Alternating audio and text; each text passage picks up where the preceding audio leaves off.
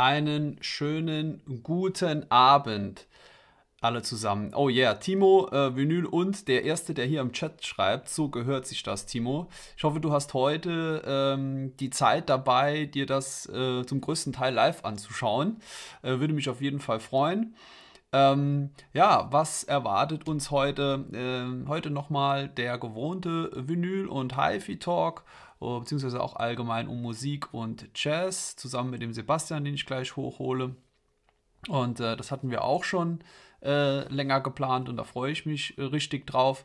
Ich äh, werde natürlich auch immer wieder versuchen, zwischendrin nach den Kommentaren zu schauen. Ich denke, es wird zwischendrin und auch gegen Ende auf jeden Fall genug Zeit bleiben. Wenn ihr Fragen an den Sebastian habt, äh, wenn ich mal was überlese, schreibt es gerne nochmal dabei. Ja, Timo, heute gehst du nicht früher. Sehr gut, das will ich hören. Jetzt hoffen wir mal, dass gleich noch ein paar online kommen. Aber ohne jetzt groß Zeit zu verlieren. Wir holen den Sebastian hoch. Servus, Sebastian. Hallo, Patrick. Na, alles gut? Bei mir ist alles gut. Bei dir auch? Ja, soweit. Wir haben ja jetzt hier äh, erstmal die technischen Probleme beseitigt. Jetzt scheint das ja zu funktionieren, hoffe ich mal zumindest. ich hoffe, es bleibt dabei, ja. Ja, äh, es ist ja immer so eine Sache. Ähm, ihr könnt ja mal gerne in die Kommentare schreiben, ob ihr uns gut seht und versteht. Guten Abend, guten Abend. Hallöchen. So. Ähm, ja, wie gesagt, ähm, Sebastian, ich kenne dich von deinem äh, wirklich fantastischen Album Two Moons. Und ähm, du bist Komponist und äh, Pianist, wenn ich das richtig sage. Aber sag doch kurz nochmal selbst was zu deiner Person für die Leute, die nicht wissen, wer du bist. Ja, genau. Hallo zusammen. Ich bin äh, Jazzpianist und Komponist aus Düsseldorf und habe tatsächlich jetzt im letzten Jahr mein erstes Album auch auf Vinyl veröffentlicht. Also für mich ist es auch eine ganz tolle Erfahrung, mal in diese Vinylwelt einzutauchen, ja. ähm, von der ich vorher noch gar nicht so viel Ahnung hatte. Und das ist für mich ein ganz spannendes Thema. Und ich freue mich wahnsinnig über die Einladung.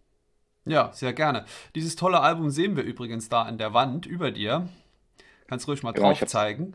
Ich habe es einfach, genau, ich habe es einfach mal ganz uneigennützig dahin gehängt. Ja, total unauffällig, ja. Ja. nee, ist wirklich ein tolles Album. Und so, also das war jetzt dein erster Release allgemein auf nein, nein, oder, war, oder nur auf Schallplatte? unter eigenem Namen mein viertes Album und es war aber das erste, was ich auf Vinyl rausgebracht habe. Ne? Okay. Davor die Alben, da war mir das, dachte ich immer so, ah, Vinyl, äh, gibt es da einen Markt für, aber gibt es natürlich einen wahnsinnigen Markt für, habe ich jetzt gemerkt. Ja, klar. Und ähm, das klangliche Erlebnis ist auch nochmal ein ganz anderes. Ja. Und ähm, ja, jetzt bin ich beim Vinyl gelandet. Ne? Ja, aber ich sag mal, ich kann das schon verstehen, wenn man jetzt äh, selbst als Musiker vielleicht so gar nicht jetzt in dieser HiFi- und Plattenszene unterwegs ist, dass man sich da vielleicht die letzten Jahre trotzdem gefragt hat, mache ich überhaupt noch eine Schallplatte? Also das ist für mich schon äh, nachvollziehbar. Und wie, wie kam dann, ich meine, jetzt kriegst du alles so langsam mit, aber was war dann der ausschlaggebende Punkt damals zu sagen, Mensch, für die Two Moons, dann machen wir jetzt eine Vinyl? Also wenn ich ganz ehrlich bin, ich, ich bin sogar so weit gegangen, dass ich beim letzten Album noch gedacht habe, soll ich überhaupt auch noch eine CD rausbringen, weil ich mir dachte, wer holt sich hier noch CDs heutzutage? und es ist, läuft alles nur noch gefühlt über Streaming oder das meiste. Und ähm, ich habe dann gesagt, komm, ich mache einen rein Digital-Release. Und da hat mein Promoter gesagt, es geht auf keinen Fall, die ganzen Leute, die Jazz-Redakteure, die das besprechen, die wollen alle noch CDs haben. Da sind einige dabei, die sind noch oldschool, die wollen eine CD haben, die brauchen, brauchen irgendwas. Und dachte ich, komm, mach mal mal eine kleine Auflage, 500 Stück. Und ähm, ich habe mir einfach gedacht, ähm, tatsächlich einfach, weil ich das Cover so schön fand. Es ging wirklich übers Cover. Ich dachte, das ist so ein tolles Cover. Und ich wollte einfach, ähm, habe überlegt, wie kann ich das Ganze noch ein bisschen besser auch erstmal so in, in Szene setzen. Ne? Ein schönes Gatefold zum Aufklappen, wir hatten ein schönes Fotomaterial. Und ich dachte mir, eignet sich eigentlich eine Vinyl ein, sehr, sehr gut für. Ja. Und ähm, ich habe den, wir haben zum ersten Mal ein Riverside Studio in, in Köln aufgenommen, ein fantastisches Studio. Und ich war halt auch von der Klangqualität so richtig überzeugt und dachte mir, komm, ich, ich probiere das jetzt einfach mal auf Vinyl. Ne? Ist natürlich ja. auch äh, immer erstmal ein Risiko, ne? Äh, weil Klar. ich hatte keine Ahnung, ob das überhaupt, ob das irgendjemand interessiert. Ne? Und äh, Vinylpressungen, muss ich dir nicht sagen, sind erstmal sauteuer als Künstler. Ich zahle erstmal alles selber. Ne? Mhm. War so auch ein gewisses Risiko, aber ich habe mich echt, ähm, also ich freue mich, dass ich es gewagt habe.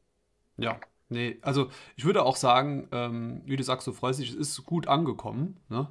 Ähm, die Vinyl ist äh, gut angenommen worden. Wie viel hattest du gemacht? Ich habe in der ersten Pressung eine 300er Auflage gemacht. Das waren dann insgesamt, da werden ja meistens ein paar mehr, so um die 320 Stück. Und die waren dann so schnell weg, dass ich dann nochmal eine 300er Auflage nachgepresst habe tatsächlich. Ja, ja. Also ähm, nochmal an alle, die Jazz mögen, äh, hört euch das Album wirklich an. Also es war jetzt gar nicht groß geplant, dass wir jetzt riesig über das Album reden, aber das ergibt sich jetzt gerade so. Das möchte ich unbedingt nochmal sagen. Es ist wirklich vor allem sehr eingängig. Also ich würde das sogar auch einem Einsteiger empfehlen, dein Album. Definitiv. Also äh, sehr harmonisch, sehr eingängig. Da kommt man, ja. kommt man gut rein, ist einfach toll. Und übrigens nochmal danke. Sag mir nochmal, wie heißt der Schriftsteller? Ähm, Haruki Murakami. Genau, davon bist du nämlich inspiriert bei der Musik, richtig? Genau, ganz genau. Ja, genau. Und du hattest mir ein Buch empfohlen. Das ja. äh, habe ich mir tatsächlich gekauft und bin auch schon so Richtung die Hälfte. Das ist echt spannend und ein bisschen verwirrend zugleich, aber ich bleibe dran. Also es ist, ist nicht schlecht. Bin mal gespannt, ja, wie das ich. Ist, das ist genau das typische Ding. Bei Murakami ist es häufig spannend, aber gleichzeitig auch verwirrend irgendwie. Aber ähm, ich empfehle dir, bleib dabei, es lohnt sich. Also es ist, ich finde es tierisch. Ja, ja, auf jeden Fall. Nee, das ziehe ich durch, klar, auf jeden Fall. äh, guck mal, der Pete schreibt vom Plattenladen Basement 45. Übrigens, Servus Pete. Er hat noch ein signiertes hey, Exemplar. Yeah. Also, Leute, hier. Vielen, vielen Dank an Pete. Äh, der hat das Ganze ja so ein bisschen, muss ich mal sagen, ganz kurz an der Stelle auch so ein bisschen losgetreten, weil äh, der das Album gesehen hat, fand es gut und hat, hat mich angeschrieben und sagte, kann ich da mal einen kleinen äh, Review drüber machen? Und dann kam die Bestellung sofort rein. Also, vielen, vielen ja. Dank dafür. Ja, das, das weiß ich. Beim Pete habe ich das auch gesehen. Ja, definitiv. So ist das. Schreibt dann, guten Abend, danke für das schöne Album. Ja, genau, so sieht's aus. So, und jetzt sagen wir, du hast eben schon gesagt, ähm, bei dir definitiv Thema Schallplatte noch relativ frisch alles, aber ich sehe Musik und HiFi scheint ja schon mehr, weil die paar CDs müssen ja irgendwo drauf laufen da im Hintergrund. Ne? Ähm, ja. Sag mal, wie, wie ist das bei dir? Hast du immer eine HiFi-Anlage zu Hause gehabt? Hast du immer deine CDs gehört oder wie war das? Ja, es ging natürlich bei mir, äh, wie bei den meisten, schätze ich mal, erstmal mit Kassetten los. Ne? Ich weiß noch ganz genau, ähm, Geld von meiner Erstkommunion wurde erstmal in ein neues Regal investiert und in so einen schönen Ghetto-Blaster von Sharp. Wo es das erste Mal richtig Doppel Kohle gibt, ne? Bei der Kommunion, mit einem, ja. Mit einem Doppelkassettendeck, da war ich wirklich damals stolz wie Oscar. So, das Ding kam raus und ich konnte zwei Kassetten reinpacken, fand ich großartig. Und ja. dann so zwei, drei Jahre später, ich schätze mal so, muss ich so 12, 13 gewesen sein, gab es dann die erste, ich schätze mal, es muss Weihnachten gewesen sein, habe ich von all meinen Verwandten das zusammenschenken lassen, die erste Stereoanlage. Und da war mir dann ganz wichtig, dass das bitte Einzelkomponenten sein müssen. Ne? Also ah. nicht so ein Turm, sondern ja. Verstärker. War eine Pioneer-Anlage. Ich kriege nicht mehr zusammen, was das für, das werden jetzt keine dollen Lautsprecher gewesen sein. Auf jeden Fall war es so ein System. Und dann habe ich natürlich angefangen, wie wild da meine Tapes zu mixen. Ne? Von CD auf Kassette zu überspielen. Ja. Und ähm, das war im Prinzip eigentlich für mich so der, der Einstieg in die HiFi-Welt, würde ich mal sagen. Ja, cool. Und auch immer dabei geblieben? Oder also hast du immer eine richtige Anlage gehabt? Gehabt, Stereo? Ja, ich habe ich hab immer eine richtige Anlage gehabt und bin dann natürlich auch, ähm, als ich das erste Mal so ein bisschen was an Geld verdient habe, das war ein Zivildienst, habe ich dann gesagt, äh, jetzt brauche ich mal anständige Boxen und habe mir dann von meinem äh, hart erarbeiteten Zivildienstgeld meine BMW-Boxen gekauft, die ich jetzt immer noch hier im Wohnzimmer stehen habe, tatsächlich. Ah, warte mal, ähm, ich glaube, du hast mir auch ein Bild gesendet, da sieht man die so ein bisschen. Ja. Vielleicht können wir das ähm, bei Gelegenheit mal einblenden. Ich versuche es mal. Ähm, ja. Ja, hier. Ja, ganz genau. Ein bisschen angeschnitten, da sieht man es noch. Das sind die ähm, mit dieser gelben Membran, ne, wenn man da dieses ja. Cover abnimmt. Ja. Äh, klingen finde ich großartig immer noch, sind natürlich ein bisschen in die Jahre gekommen, aber ähm, haben mir immer gute Dienste erwiesen. Und dann ging das einfach so weiter mit CDs. Ne? Also ich habe dann wirklich, wie man es jetzt hinter mir sieht, einfach natürlich über die Jahre äh, viele, viele hauptsächlich Jazz-CDs gesammelt ja. und die alle durchgehört. Mir dann noch vor vielen Jahren die Mühe gemacht, die alle noch zu digitalisieren ja. bevor das mit dem Stream wirklich losging. Ne, alle importiert. Ich habe noch so einen zweiten Schrank davon mit äh, Pop- und Klassik-CDs im anderen Zimmer stehen. Ja. Und das ist im Prinzip eigentlich so die meine Library, würde ich mal sagen. Ja. Und ähm, Ja.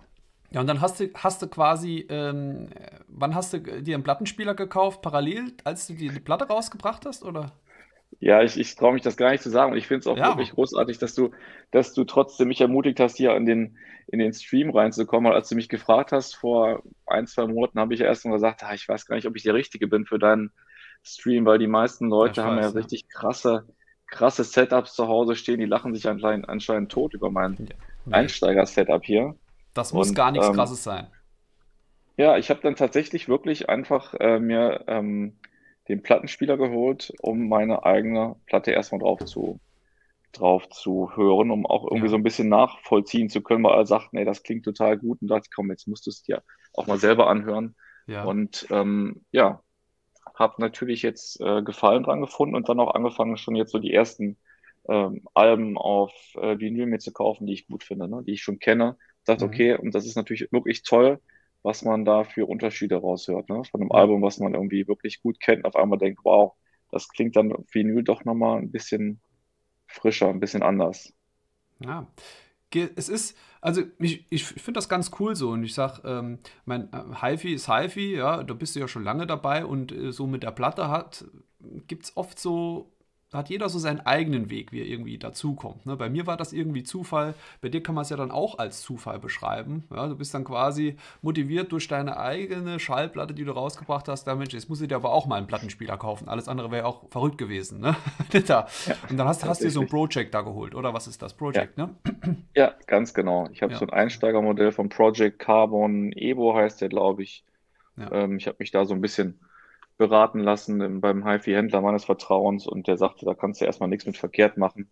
ja, Und ähm, ja, es macht auf jeden Fall Spaß. ja. Mit Sicherheit äh, ein gutes Ding für, für den Einstieg. Guck mal, der Ralf, der schreibt auch, klasse Story, zu eigenem Vinyl den Plattenspieler gekauft. Ja, so ist es, ne?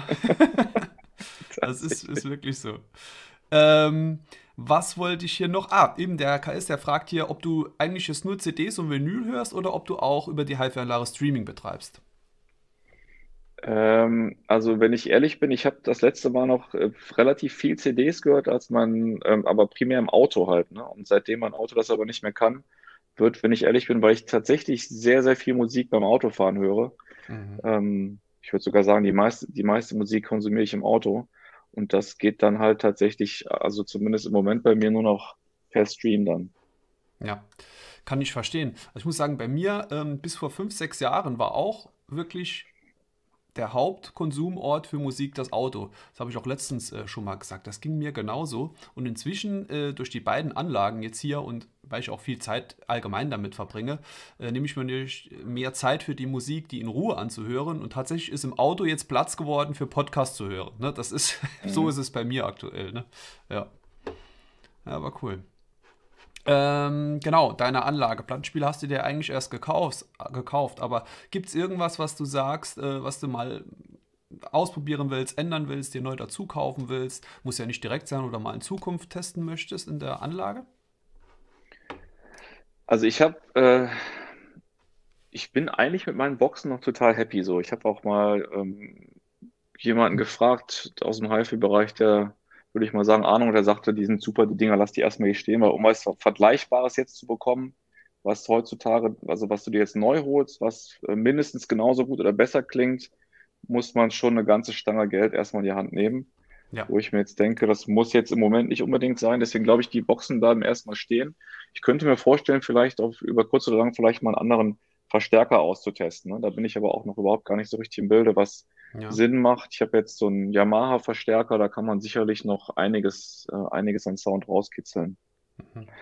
Ja, muss, muss man mal testen. Ich sag mal, äh, wegen den Lautsprechern, weil du das nochmal angesprochen hast, ähm, ich kann mich auch irren, aber ich glaube, viele trauern dem alten B&W-Sound hinterher, den du jetzt noch hast. Ich glaube, äh, bei vielen neuen oder die neueren Sachen haben teilweise den Klang nicht mehr, den die B&W-Fans äh, damals hatten. Ne?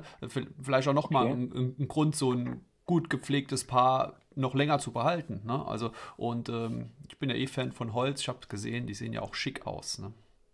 Ja. Nee, da bin ich eigentlich ganz, ganz happy im Moment. Ja, sehr gut. Ähm, ja, was ich auch immer wissen will, das muss jetzt bei dir gar nicht unbedingt eine Schallplatte sein, wenn du willst natürlich sehr gerne. Kann auch einfach ein Album sein als CD. Gibt es ein Album, das dir besonders am Herzen liegt? Jetzt außer dein eigenes. Ähm, egal, ob es selten ist, ob du damit aufgewachsen ist, ob es... Egal.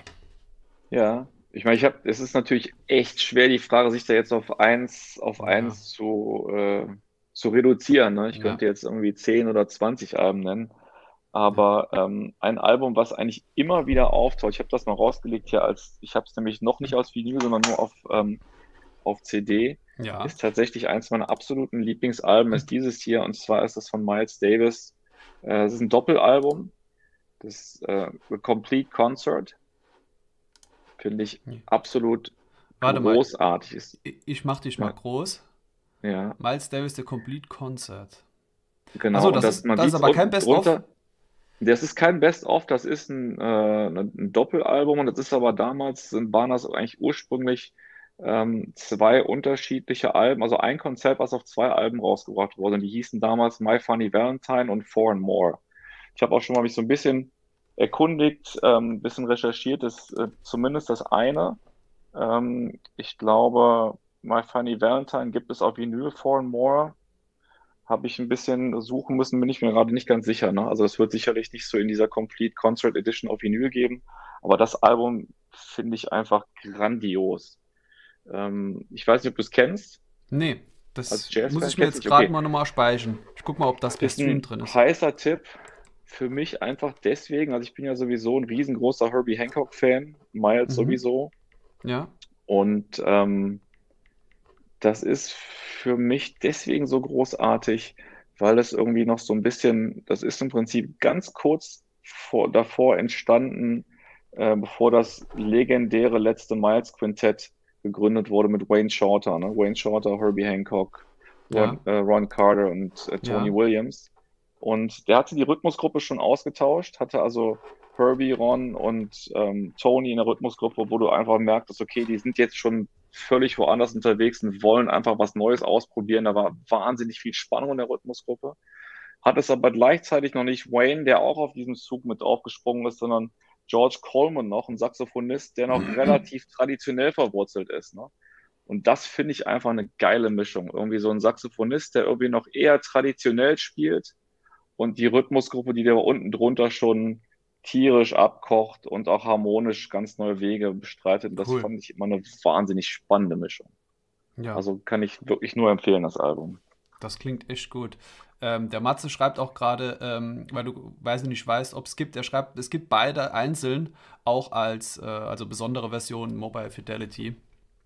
Das okay. ist mal spannend. Cool. Also das muss ich mir auf jeden Fall mal nochmal anschauen. Ich wollte jetzt mal so spontan gucken, ob ich ähm, die Version so bei, bei Streaming finde, aber wahrscheinlich sind die dann einzeln in dem Streaming-Portal nicht so. Ich habe mal, ich habe auch mal letztlich, weil ich nochmal äh, auch im Auto hören wollte, ich habe das bei, ähm, ich weiß gar nicht mehr, bei Spotify, glaube ich, als Playlist gefunden, auch mit dem Cover. Da hat jemand eine Playlist ah. gemacht, wo die Dinger drin sind. Ne?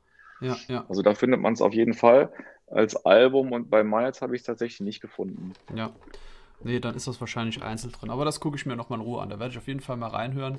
Was du so beschreibst, das klingt echt mega spannend. Aber ja, ja es ist ein tierisches Album, wirklich. Kannst, äh, also ich könnte mir vorstellen, dass es dir auch gefällt. Ja, hört sich, hört sich wirklich so an. Sag mal, unter dem äh, Two Moons Album, was ist das denn da? Das, das Menü? das ist tatsächlich, hört sich jetzt doof an, aber das, das ist so ein, ähm, das ist ein James Bond Album, ähm, Soundtrack von Live and Let Die. Das habe ich mir tatsächlich vor ewigen Zeiten gekauft, als ich noch nicht mal so ein Plattenspiel hatte, weil ich einfach nur das Cover so geil finde. Das ist einfach so ein, äh, so ein typisches James Bond-Motiv und äh, ja, der Film ist natürlich auch gut. Ja. Ähm, genau. Also äh, Paul, Paul McCartney hat hier den Soundtrack gemacht dazu. Ja, cool. Werde ich aber auch demnächst mal auflegen. Ja, sehr gut, dafür sind sie ja da, ne? Ja. Sebastian, ja. Was schreibt er? Ihr, ihr, weckt mein Interesse wieder nach Jazzmusik. Sehr gut. Bin gespannt, wie es bei mir klingt mit Orthophon Red Einsteigertonabnehmer, die sozusagen universal ist, eignet sich gut für Genres. Ja, du, ähm, Orthophon Red gibt es überhaupt nichts äh, dagegen zu sagen. Ne? Solides, solides Teil. Und ähm, da kommt es dann eher äh, darauf an, dass du eine schöne Version von dem Jazz-Album erwischt, eine gut klingende. Das äh, macht dann genauso Spaß. Ähm, natürlich auch mit dem Orthophon Red. Ist das nicht der, der auch bei, auf meinem äh, Teller drauf liegt? Ich meine schon, oder? Das weiß ich, das habe ich gar nicht drauf Bei, geachtet. bei dem Wenn- Project E, wo ich meine zumindest, Die, ähm, der die, Name die verbauen, was. die verbauen, ja. Meistens äh, Orthophon. Wenn du einen roten hast, hast, hast du den auch, ja. Ja. Da kann man ja auch irgendwann ähm, relativ leicht äh, upgraden. Das hatten wir das letzte schon mal irgendwo im Stream oder beim Pete war es, ich weiß gar nicht mehr, dass Ja. man da ähm, ganz schnell relativ einfach die Nadel wechseln kann und gleich mit dem höheren, mit dem blauen schon. Da hat man quasi die Qualität von dem blauen und hat eigentlich nur die günstige Nadel vorne gewechselt. Ne? Okay. Und du meinst, das ist, das würde, also macht einen hörbaren Unterschied? Ich habe selbst nicht getestet, aber was ich so mitbekommen habe aus der Community, und das war jetzt gerade kürzlich, ähm, definitiv scheint das der Fall zu sein. Ja. Okay. Und cool. äh, die Austauschnadel von dem Blauen ist natürlich äh, günstiger, wie wenn man sich den kompletten Tonabnehmer in Blau Ja. kauft. Also, Okay. das ist auf jeden Fall interessant. Ähm, ja, spannendes Album, was du gezeigt hast. Das andere ist, kommt dem demnächst noch was Spannendes raus, auf das du dich besonders freust? Was du dir vielleicht Äh, sogar auf Platte holen willst? Also ich habe mal geschaut bei ECM, ein Album, was ich immer wieder ganz gerne, was ich während des Studiums ähm, sehr viel gehört habe, ist ähm, Gnu High von Kenny Wheeler. ECM, Und- ja. Kennst du das? Also ich, ich weiß, dass ECM jetzt nochmal ähm, viele hochwertige Schallplatten rausbringt als Neuauflage. Äh, das Genau. Album speziell ist nicht, ja. Genau, und da soll auch dieses Gnu High drin sein und da bin ich sehr gespannt drauf, weil ich das, das Album, wie gesagt, ähm, sehr, sehr viel während meines Studiums gehört habe. Und ähm, ja, es ist einfach ein geiles Album. Keith Jarrett spielt darauf mit und ähm, da bin ich ähm, sehr gespannt, wie das auf Vinyl klingt. Wann soll das kommen?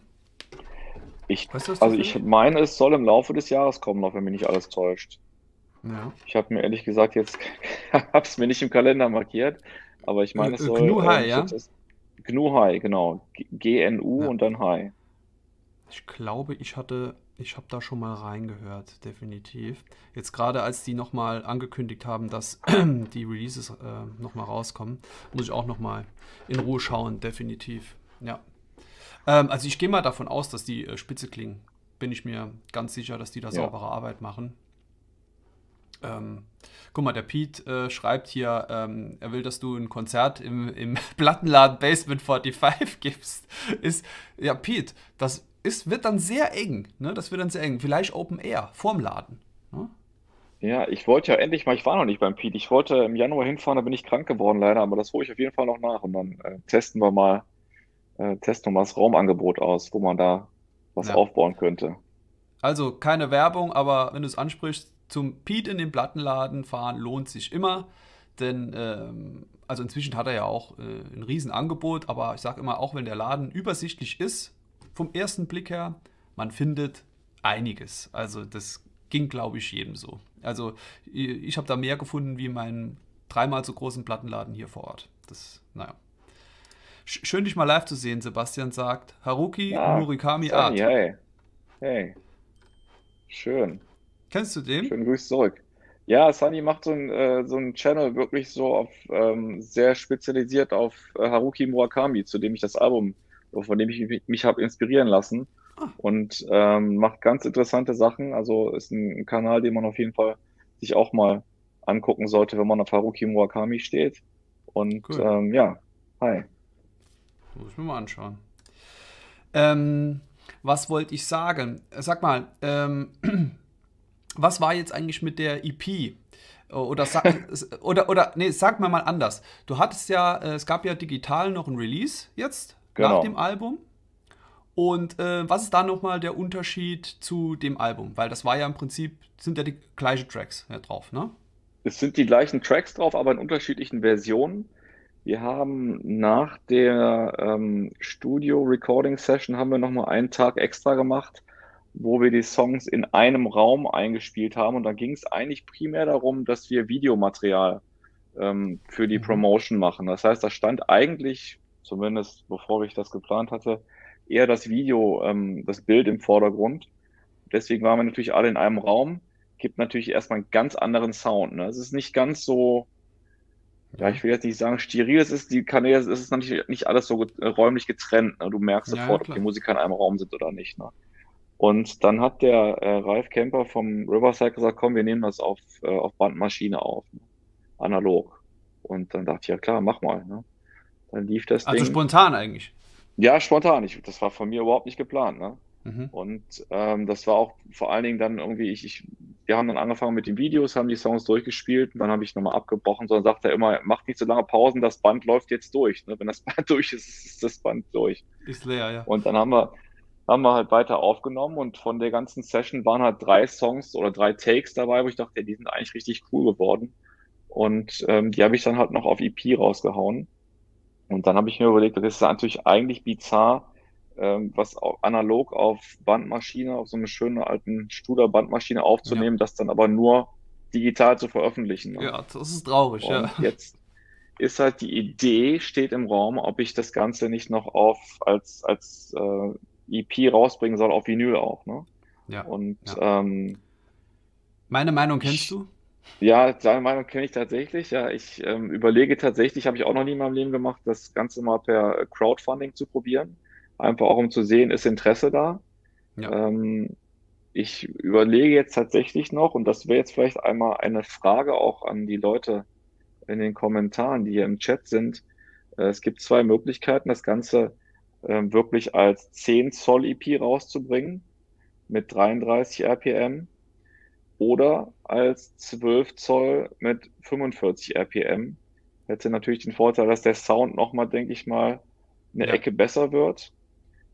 Ähm, bizarrerweise ist die 10, muss man direkt dazu sagen, und da bin ich auch so ein bisschen im Konflikt, weil die 10 Zoll Pressung ist nochmal deutlich teurer, obwohl es weniger Material ist und Ja. auch weil es 33 RPM ist, wird der Sound äh, ein bisschen schlechter sein, Ja, aber halt es ist nicht in der deutlich teurer, ist, weil ne? es halt, Ja. es wird so, so selten nachgefragt. Ne? Ja, ja. Und ähm, Also, ähm, cool, dass du es ansprichst. Ich bin mal gespannt, äh, was die anderen, ob die anderen was dazu schreiben. Wäre auf jeden Fall toll. Wir müssen auch später mal schauen, weil das, äh, der Livestream bleibt ja als Video online, Okay. was vielleicht in den Kommentaren mal kommt, weißt du, von Leuten, die es noch nachschauen.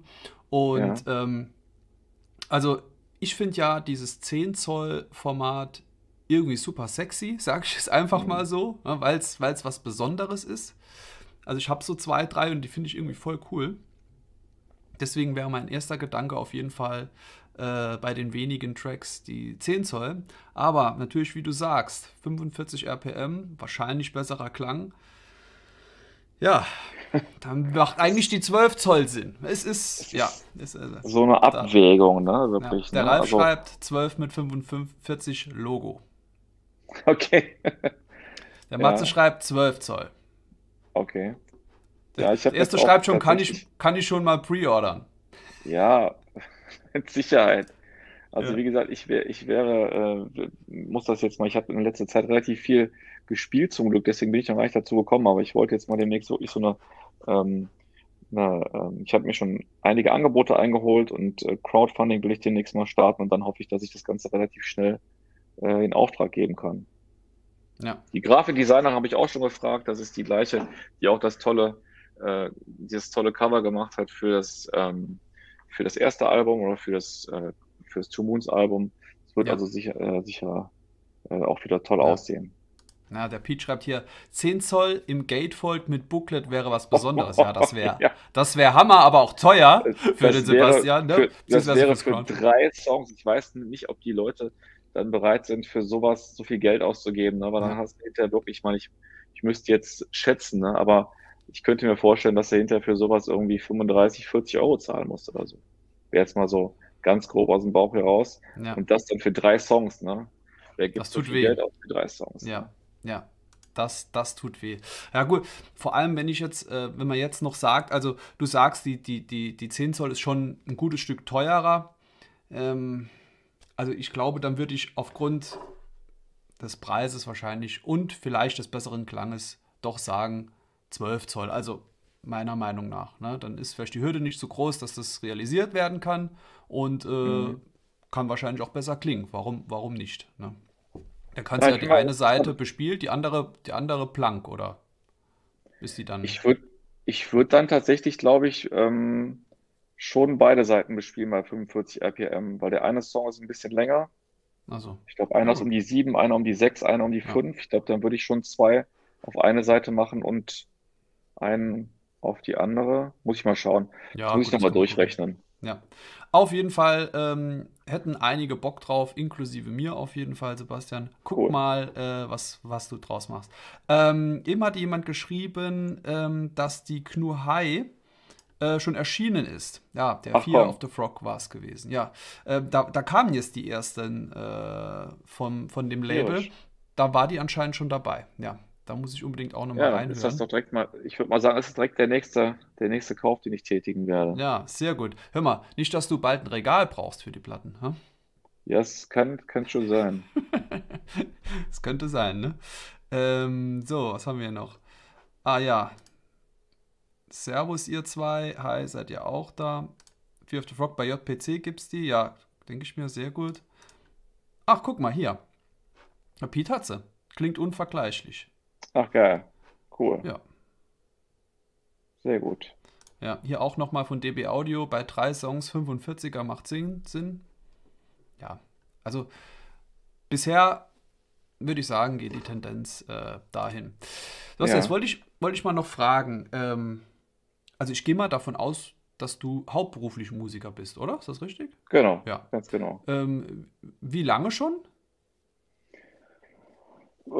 Eigentlich seit da im Studium, ne? Wann bin ich fertig gewesen? 2007. Ah. Also jetzt, so sagen wir mal so, ich habe während des Studiums schon angefangen zu spielen. Ich würde mal sagen, so knapp 20 Jahre, ne? Okay, krass. Wahnsinn, weil das wollte ich dich gerade fragen. Wie, wie wird man denn Jazzmusiker? Aber äh, hast du das in die Richtung dann studiert und dann.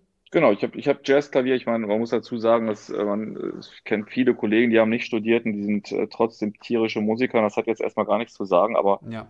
ich habe einfach, um da das Tolle ist natürlich beim, beim Jazzstudium, dass du halt einfach dann äh, viele Jahre guten Hauptfachunterricht bei tollen Dozenten bekommst. Ne? Und ähm, ich äh, habe dann in Köln an der, an der Musikhochschule studiert. Ich hatte vorher so einen kleinen Umweg nach dem Zivildienst, war ich erstmal ein Jahr in Arnheim, habe dort Jazzklavier studiert und habe dann tatsächlich selber so ein bisschen kalte Füße bekommen, weil ich mir dachte, ah, so nur Jazzmusiker ist das irgendwie was, von dem man später auch leben kann. Und dann habe ich nochmal umgeschwenkt und habe angefangen, ähm, Tontechnik zu studieren in Düsseldorf okay. an der Robert-Schumann-Hochschule. Mhm. Habe hier zwei Semester Bild- und Tontechnik studiert.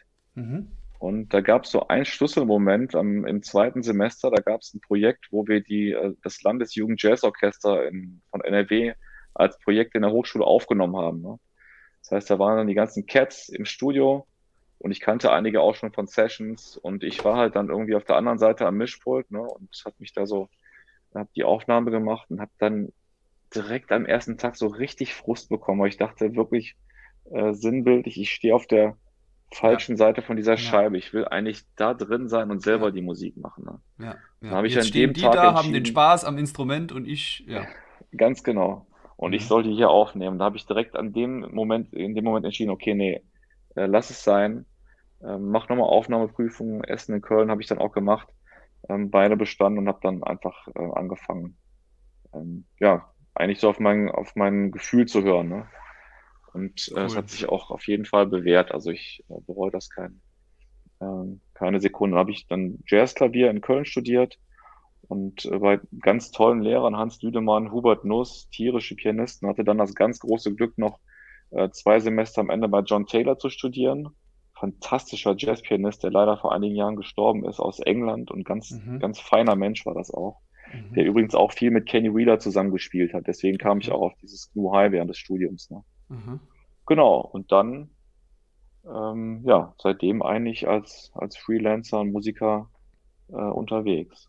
Ja, spannend. Also habe ich es gerade mal überlegt, während du so erzählt hast, ob ich überhaupt jemand kenne, der so von früh an gesagt hat, irgendwie so mein berufliches Ziel ist, äh, Musiker zu werden. Also irgendwie habe ich mir jetzt gerade so vorgestellt, dass Leute, die Musiker werden, das so irgendwie durch Zufall passiert, weißt du, und nicht so geplant.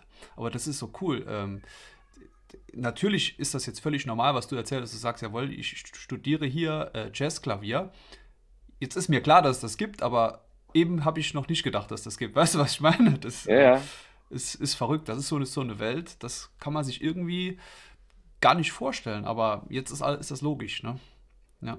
Ja, aber du konntest, du konntest dir vielleicht vorher auch nicht vorstellen, dass du das mal hauptberuflich machst, was du jetzt machst. Ne? Das war ja für dich ja, auch. mache ich ja noch, äh, noch nicht so ganz, aber ja, ist, ist, ist, ist schon so. Ja, kann man sich aber du bist ja, du, vorstellen. Ja. Ja, äh, aber sag mal, wie stelle ich mir das, das denn vor? Also du warst dann schon immer musikaffin, auch früher in der Schule? Und dann hast du irgendwann genau. gesagt, das machst du, oder wie, wie, wie geht das? Ja, ich habe tatsächlich, also das ist bei mir so gewesen, ich habe äh, hab ein ähm, also eigentlich ist es ein bisschen skurril. Ich habe mit äh, acht, neun Jahren habe ich ganz normal angefangen, Klavierunterricht zu nehmen, wie man das halt so macht, klassischen ah, Klavierunterricht, ja, zwei, drei Jahre los, lang. Mhm. Und habe aber nie geübt und hatte auch eigentlich nie Bock drauf. Ne? Meine Mutter hat immer gesagt, komm, jetzt üb mal ein bisschen und dann bin ich wieder zum ja. Unterricht, habe nicht geübt. Dann habe ich mit 12, 13 aufgehört äh, mit Klavierunterricht und hatte dann meine Phase, wo ich wie ein Irrer nur noch Basketball gespielt habe, jahrelang. Und dann habe ich ein ähm, Austauschjahr in USA gemacht und bin ganz kurz vorher noch angefixt worden über so eine, ähm, über so ein Klavierintro von einem Genesis-Song, wo Tony Banks so ein pseudo-klassisches Intro spielt. Das hat mich damals tierisch beeindruckt, wo ich dachte, boah, das willst du auch mal können. Ne? Habe ich mir kurz vor den USA noch ein Keyboard gekauft, habe dieses Keyboard tatsächlich mit in die USA genommen. Das erste, was ich mir in den USA mit 16 Jahren am Flughafen geholt habe, war so ein Transformator, damit ich überhaupt den, den äh, Strom, das Teil nutzen kann in den USA. Ne? Und dann habe ich in USA, war es natürlich tierisch, da hast du eine Highschool, eine, eine Big Band, eine Pep Band, alles Mögliche. Und da habe ich halt jeden Tag dort Musik gemacht und bin auch tatsächlich dort erst mit Jazz zum ersten Mal in Berührung gekommen. Ich habe hier im Prinzip, vorher wusste ich gar nicht, was Jazz ist. Ne? Ich habe in der Schule nichts gehört. Mein, mein Vater hat zu Hause äh, Rock gehört, kein Jazz. Und dann ging das dort los. Ne? Und kam zurück und hatte dann das riesengroße Glück, dass ich hier in der äh, in der Schule am Gymnasium einen sehr, sehr tollen Musiklehrer hatte, der eine Jazz AG an der Schule hatte, was ja auch vor allen Dingen für, für die damalige Zeit, so Ende 90er, als alles andere selbstverständlich war. Ne? Mhm. Hab dann hier direkt so fließender Übergang aus den USA zurück, hier direkt den Anschluss gefunden, hatte halt Gleichgesinnte in der Schule, die auch Bock hatten auf Jazz. Und das war im Prinzip so ein bisschen mein Sprungbrett eigentlich. Ne? Ja, mega echt, echt spannend. Und ähm, sag mal, wie, wie muss ich mir das vorstellen? Also ich stelle mir das ja jetzt auch nicht einfach vor, ähm, da vor allem am Anfang über die Runden zu kommen, sage ich jetzt einfach mal. Ne? Äh, ich meine, du machst deine eigene Musik und du hast gesagt Freelancer. Wie, wie stelle ich, du meinst Freelancer als Pianist? Da bist du dann irgendwo unterwegs oder, oder wie? Genau, Freelancer als Freelancer als Pianist. Ähm, ich bin in ganz vielen verschiedenen Ensembles unterwegs, also mit meinen eigenen Sachen oder als Zeitmann mit anderen Projekten. Ne? Man macht im Prinzip äh, alles Mögliche an Musik. Ich habe auch, auch immer mal wieder so, so, so Pop-Sachen gemacht, kommerziellere Sachen. Ich habe früher viel mit Stefanie Heinzmann gespielt. Ich habe mal ah. eine äh, Voice of Germany Tour als Keyboarder, Keyboarder begleitet, ah, alles Mögliche, ja. cool. Und äh, dann nimmt man im Prinzip so verschiedene Jobs an. Ich habe dann allerdings auch noch, und das ist noch so ein zweites Standbein, was ich mir noch aufgebaut habe, vor zehn Jahren auch angefangen, tatsächlich an meiner eigenen Schule, wo ich damals äh, in dieser Jazz AG war, mhm. ähm, als Lehrer noch, als Musiklehrer noch ein bisschen zu arbeiten. Ne? Das heißt, Ach. da bin ich zwei, drei Tage die Woche auch noch in der Schule und unterrichte ein bisschen Musik. Und das ist noch so ein zweites Standbein, was es tatsächlich wirklich äh, extrem äh, viel einfacher macht. Ne?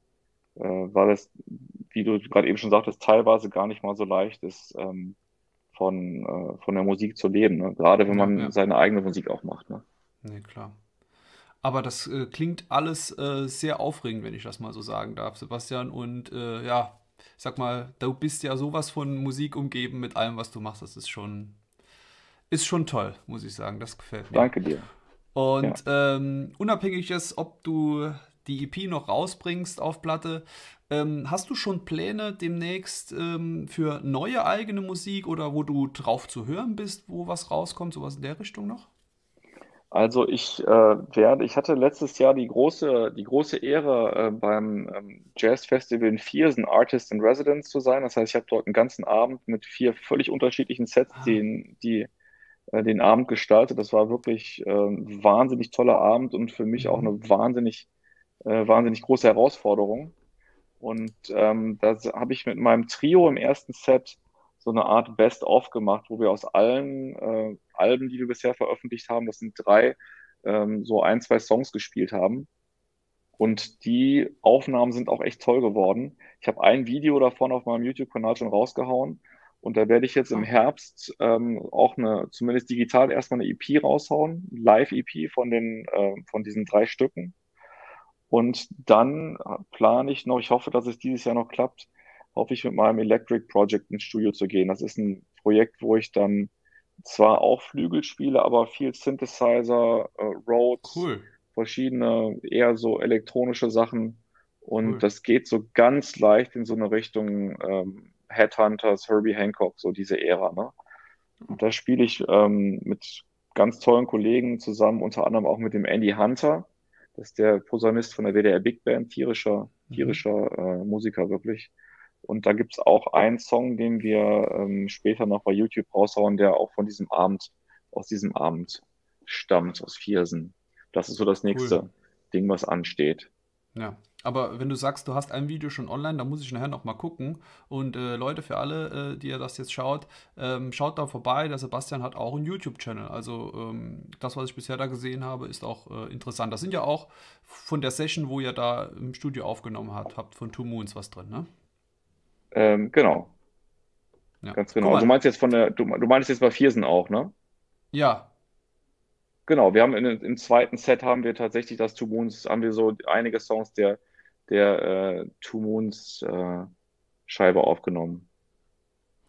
Guck mal, Andy61 NBA schreibt, super Platte weiter so, stehen noch weitere Musikprojekte mit deinem jüngsten Bruder an.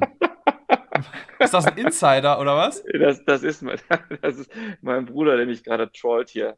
Achso, das ist dein Bruder. Das, das, ist dein Bruder, der sitzt gerade im Zug und kommt, kommt nach ja. Düsseldorf gefahren aus Ulm. Ist, ist sehr geil, Servus. Ja.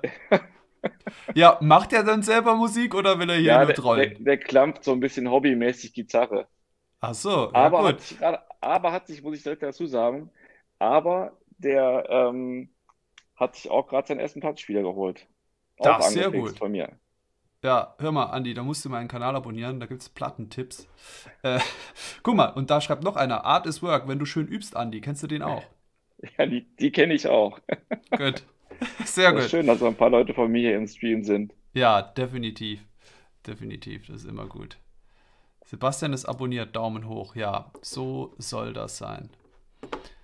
So, warte, ich gucke mal gerade mal hier durch die, durch die Kommentare, ob ich hier irgendwas übersehen habe. Ja, der Peter hat noch geschrieben, also ein zweiter Helmut Zerlett, nur im Chess. Äh, ja, das war.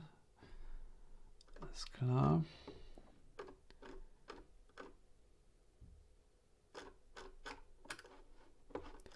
Ja. Nee, spannend. Ich bin, ähm, Ja, das, äh, man, manches muss ich so richtig verarbeiten jetzt. Ich stelle mir das alles so vor. Ist irgendwie cool. Ja. Ja. Ich kann ja, ja, vielleicht auch noch, äh, wenn ich darf, dann darf ich noch einen Plattentipp auch mal aussprechen. Ja, klar, mach mal. Äh, ist das erlaubt in dem Format? Auf jeden Fall. Gerade noch zwischendrin, bevor du das machst, äh, der Piet nochmal, Sebastian, wann kann man dich live sehen? Ich habe es am Anfang gesagt. Er, der war, er war gerade in Karlsruhe. Ähm, ich habe es leider nicht geschafft, aber du bist jetzt immer noch unterwegs, oder? Genau, wir haben zum Glück noch einige schöne Termine äh, mit dem, auch mit dem Two Moons äh, Projekt noch anstehen. Natürlich primär hier in der Region erstmal. Wir sind, ähm, haben ähm, Anfang Juni so eine wirklich so eine kleine Mini-Tour. Da spielen wir am 31.05. als Opener von den Hildener Jazz-Tagen. Da freue ich mich schon sehr drauf. Dann spielen wir am nächsten Tag so einen ganz kleinen Gig in, der, äh, in Monheim in der Stadt, äh, Stadtbibliothek. Und dann ähm, an dem Freitag in der Kulturkirche in Duisburg und samstags im Nachtfoyer der Oper in Wuppertal. Das hm. sind also mal so vier ja Dinger direkt hintereinander weg. Da freue ich mich schon wirklich sehr drauf. Dann gibt es noch im Stadtgarten Köln Ende Juni ein Ding und dann bin ich gerade dabei, noch so eine kleine Rutsche für den Herbst zusammenzubasteln. Da steht jetzt schon das Theaterstübchen in Kassel Ende Oktober und ich hoffe, dass da noch ein paar andere, ähm, andere Konzerte dazukommen. Ja, Am besten Cool. guckt ihr auf meiner Homepage mal, da sind Wollte eigentlich ich immer alle sagen, ja. Termine online. Ja, sehr gut. Äh, ja, jetzt haut er einen Plattentipp raus. Jetzt bin ich gespannt. Ja, ich habe eine Band entdeckt vor ein, zwei Jahren, die ich tierisch finde, und zwar Young Gun Silver Fox heißen. Ja, finde ich geil. Kennst du die? Mhm. Kennst du die? Hm? Kennst das Geilstes letzte Album, das Weiße. Wo Ja, die, das- die, Ich finde ja das hier das geilste Album. das ist das Neueste, oder? Das ist das Neueste, ja. Und das, hat, das Ja. fand ich halt, deswegen hat mich das auch so, fand ich, wollte ich es einfach mal zeigen, weil das habe ich halt äh, noch bevor ich mir den Plattenspieler geholt habe, äh, rauf und runter gestreamt und fand es dann einfach, ich, also ich kannte den, die, die Platte wirklich, weil ich sie wirklich viel gehört habe, kannte ich das Album sehr, sehr Ja. gut und Ja. den Sound und ich fand es einfach auf Vinyl so viel geiler noch. Also gerade die Ja. erste Nummer mit den Bläsern, die knallt so richtig, richtig gut. Also ich finde es großartig. Klingt richtig Ja. toll. Young und es ist Silver gute Fox. Musik. Ja, to total. Halt, äh, auch so eine Musik, ich habe letztens ähm, bei einem Hardrock-Metal-Album das gesagt, ist natürlich was ganz anderes, aber auch so, wo ich sage, cool, dass jemand noch so Musik macht. Ne, so empfinde ich das bei denen. Ne? Ja, ja, genau, es, absolut. Es hat, ja. Und äh, die machen mir so tierisch Spaß. Ich glaube, aber gut, dass du es gezeigt hast. Ich muss in das neue Album auch noch mal reinhören. Ich glaube, ich hatte nur so flüchtig reingeskippt. Dachte, ja, kann das andere nicht toppen. Davor, das, das mit dem roten, mit dem roten Cover, das habe ich auch auf Vinyl. Das fand ich auch nicht schlecht. Aber das mit dem weißen, wo die beide drauf sind, so schwarz-weiß, das für mich persönlich der absolute Überflieger. Also das Okay, ist, da muss ich da dann sind zwei, drei Hits drauf. Ja, da, da meinst du gerade, äh, keine Ahnung, so eine Mischung zwischen Toto und was weiß ich was. Äh, so richtig, richtig cool, ja. Oh, Frank, ja, jetzt, jetzt kommst du hier. Hast du noch äh, die, die, die Fliesen fertig verlegt oder was? Warum bist du so spät? Frank ist mein Nachbar übrigens, der kriegt Ah, eine okay. neue Küche, ja. Okay. Deshalb, ja. Ja, cool. Nee, aber ähm, schöner Tipp, dass du die auch ziehst, weil die äh, kennt ja auch nicht jeder, ne? Die Young Gun Ja, ja, absolut. Ja, Ja. definitiv. Ja, ich war, ich war wirklich erstaunt, dass, ähm, weil, weil die eigentlich coole Venues spielen auch und ähm, wir wollten die ähm, letztes Ende letzten Jahres uns live anhören in Holland, sind gerade in Tilburg angekommen und dann haben die das Konzert leider abgesagt, weil ähm, Young Guns, Young Gun an dem Tag krank geworden ist. Und ähm, ja, die sind jetzt richtig unterwegs auch, haben, glaube ich, in den USA gespielt auch und spielen jetzt noch ein paar Mal im Sommer auch. Ich gucke mal, ob ich jetzt im Sommer es vielleicht schaffe, die mal live zu hören. Ja, die sind cool. Ist auch irgendwie so, so ein ungleiches Paar, ne? Weißt du, Ja. was ich meine? Ja, ja. Er irgendwie so ein, sieht so ein bisschen aus wie so ein Indianer, ne? So ein ergrauter Indianer. Und dann, ja, der, der jüngere Typ, der Young Gun, halt irgendwie so ein ja, Ja. lockerer, beachiger Typ, ne? Ja. Ja. Ist schon, ist schon spannend. Ja, super, Sebastian. Also, ähm, ich sagen, wenn jetzt sonst keine Fragen mehr sind, dann ähm, würde ich sagen, verlassen wir das Ganze und gehen auf die Couch. Oder hören Musik. Ne? Ja, ich glaube, heute, ich glaube, jetzt werde ich gleich auch mal den Plattenteller nochmal anschmeißen und Ja, was ja, sehr gut. Ja, ich werde auch noch was hören. Aber wie gesagt, ähm, geh auf jeden Fall mal äh, so in einer Woche, zwei, spätestens äh, nochmal äh, in das Video hier rein bei mir auf dem Kanal. Ja, Vielleicht äh, hier nochmal der Aufruf an alle, die das, den Stream schauen. Schreibt doch mal drunter, was ihr sagt. Äh, die EP vom Sebastian als Crowdfunding, soll er das machen? 10 Zoll, 12 Zoll und so weiter. Ihr wisst ja, er hat es eben gesagt. Schreibt das gerne mal in die Kommentare. ja, würde mich auf Ähm, jeden Fall interessieren.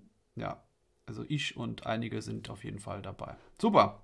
Sehr gut. Sebastian, es war mir eine Ehre, es Patrick. war richtig cool. Ich danke dir vielmals. Ja, und ich hoffe wirklich, das ist, äh, steht bei mir ganz hoch auf der Liste auch, dass ich äh, vielleicht dieses Jahr noch schaffe, zu, dich live zu sehen, egal in welcher Combo. Da habe ich wirklich sowas von Lust drauf. Ich höre so viel Jazz zu Hause, das muss ich auch nochmal sagen, äh, seit ich der Schallplatte verfallen bin. Aber ich habe wenig bis gar keine Live-Jazz-Performances gesehen. Das ist so schade. Also da muss ich was tun. Ja, dann komm mal, sonst, sonst kommst du mal hier nach Düsseldorf. Ist ja auch, ich meine, Düsseldorf ist immer eine Reise wert, ne?